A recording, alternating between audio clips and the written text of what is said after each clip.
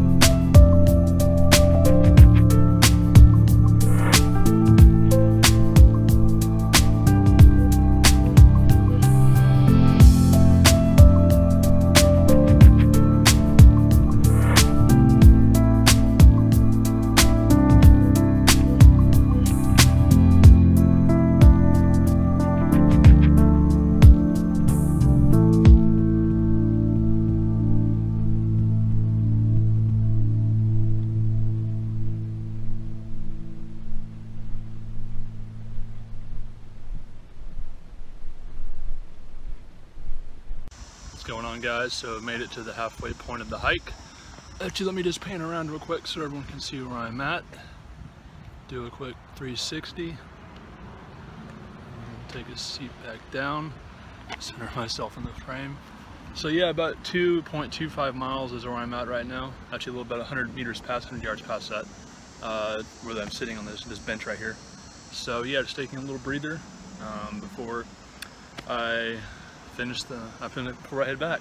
So should be just a little break here. So, and we will see you guys on the other side.